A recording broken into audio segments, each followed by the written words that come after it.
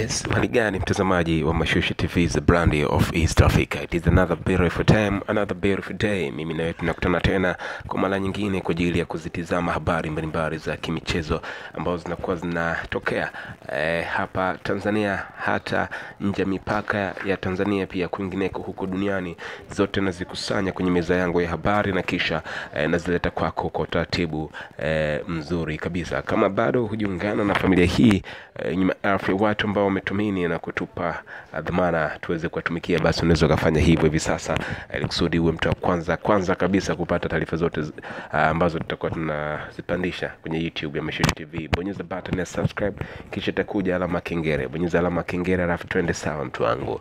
Oh yes e bwana Yes, siku ya jana kulikuwa na mechi ya Yanga dhidi ya Coastal Union pale Mkokwani eh, jijini Tanga, mechi ambayo ilikuwa na matarajio makubwa zaidi eh, kutoka kwa mashabiki wa soka hapa Tanzania, wakiwemo mashabiki wa Coastal Union wenyewe. Waliamini kabisa ni mechi ambayo watakwenda kushinda eh, na kupata pointi tatu muhimu kusudi ziweze kuwasogeza na kuwaweka sehemu nzuri zaidi kwenye msimamo wa ligi kuu Tanzania bara, lakini bahati mbaya haikuwa hivyo. Lakini pia upande wa wapinzani pia wa Dar es Salaam Young Africans nao pia walitegemea mechi hiyo iwe ngumu kwa mpinzani wao ili kusudi waendelee kuwa na advantage ama faida zaidi eh, kwenye mechi zinazokuja, ah, kitu ambacho kitaweza kuwaweka eh, kwenye msimamo eh, wa juu zaidi kwenye ligi ya NBC Premier League.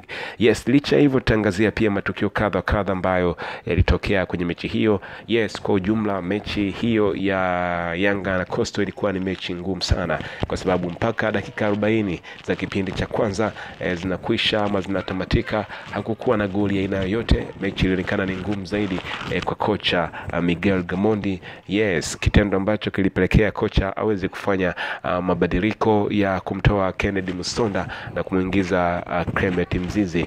Clement Mzize amekuwa ni mshambuliaji eh, wa kutegemewa zaidi pale Dar es Salaam Young Africans. Ukiachana na Kennedy Msonda, Mzize amekuwa akipata priority ama nafasi zaidi eh, kwenye nafasi ama eneo la mbele kutokana na advantage ya umbo lake, lakini pia eh, namna ambavyo anaweza kufunga. Amekuwa akifunga mara kwa mara. Eh, siku ya jana baada ya kuchukua nafasi ya Msonda, yes, anaingia na kuipa uh, gori timu yake Dar es Salaam Young Africans ambao kwa muda mrefu ilikuwa ikistruggle namna gani ya kuweza kupata eh, gori hilo mbele ya uh, Coastal Union kutoka pale jijini Tanga.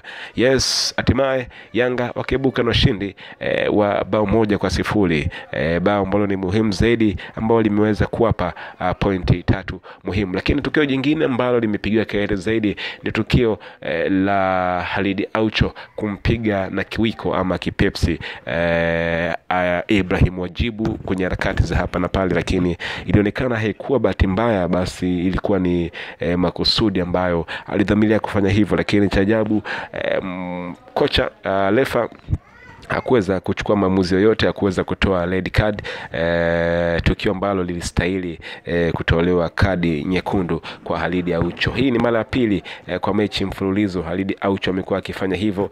Yes, na hii imekuwa ikileta picha tofauti kwa kwa waamuzi ambao wanapewa dhamana e, kwa ajili ya kuchezesha michezo hii e, kwanza kuto e, kujipunguzia uaminifu e, lakini pia kutengeneza e, sifa mbaya ya ligi kuu e, ya NBC Tanzania uh, bara. Hayo ni matukio kadha kadha ambayo yaliweza kutokea uh, siku ya jana pale jijini Tanga kwenye mechi ya Yanga uh, na Coastal Union. Bwana, endelea kubaki na mimi hapa eh, niendelee kukupasha na kukupa habari mbalimbali ambazo nitakuwa nazipata kwenye meza yangu ya habari na kisha kuzileta kwako eh, na wewe uweze kuenjoy na kufahamu mengi ambayo yanakuwa yanatokea na kujiri kwenye upande wa kimichezo. Hii ni Mashwishwi TV eh, the brand of East Africa, sehemu pekee ambayo imekusanya maelfu ya Watanzania, maelfu ya watu ambao wametumini umetupa dhamana kubwa tuweze kuwapasha habari. Pia unaweza kuwa sehemu ya familia hii kubwa kwa kubonyeza button ya subscribe, kisha itakuja alama ya kengele. Bonyeza alama ya kengele ili kusudi uwe mtu wa kwanza kupata taarifa zetu zote kutoka hapa Mashwishwi TV, the brand of East Africa. Oh yes.